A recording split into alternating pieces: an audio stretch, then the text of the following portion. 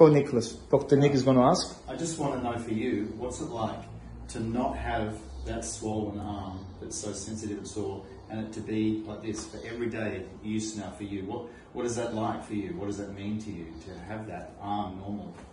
Πώς είναι για σένα πλέον Ναι. να μην έχεις εκείνον το είδημα χι- στο χέρι, και το κάψιμο στο χέρι και να ζει φυσιολογικά το χέρι σου. Τώρα, όπως είσαι.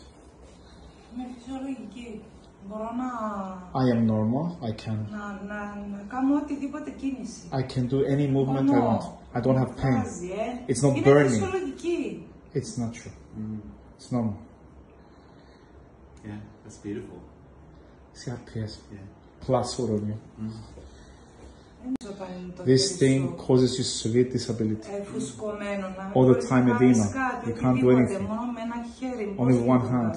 How can you Ενώ function? έχεις τα δύο σου χέρια όπως You have σου both μας hands. έστειλε, Like God sends you, μπορείς να κάνεις τα πάντα. you can do everything.